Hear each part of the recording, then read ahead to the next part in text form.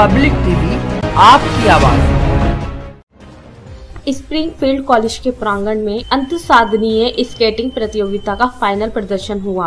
इस अवसर पर मुख्य अतिथि विद्यालय प्रबंधक समिति की अध्यक्षता नीरू जेटली रही, जिनका स्वागत कक्षा सात के छात्रों द्वारा छोटा पौधा बैठ करके किया गया। प्रतियोगिता में कक्षा एक से आठ तक के कुल तो तीस छात्र छात्राओं ने प्रतिभाग किया। इस प्रतियोगिता को दो वर्गों में विभाजित किया गया था, बालिका वर्ग व बालक वर्ग। प्रतिभागियों ने प्रदर्शन कर प्रतियोगिता में अपना स्थान हासिल किया। प्रतियोगिता के प्रारंभ में कुछ चुनिंदा प्रतिभागियों द्वारा डेमो दिया गया था, जिसमें छात्रों द्वारा बास की सहायता से विभिन्न मुद्रा बनाकर बेहतर प्रदर्शन किया गया, जिसका दर्शकों ने ताली बजाकर अभिनंदन किया। तत्पश्चात सभी प्रतिभागियों द्वारा स्केटिंग की कैटेगरी का बेहतर प्रदर्शन किया गया व अपना अपना स्थान पक्का किया गया। प्रतियोगिता के निर्णायक मंडल में दिव्या त्यागी, वंश यादव, अभिजीत व कृष रहे। ये प्रतियोगिता धर्मेंद्र कोशी की देखरेख में सम्पन्न हुई।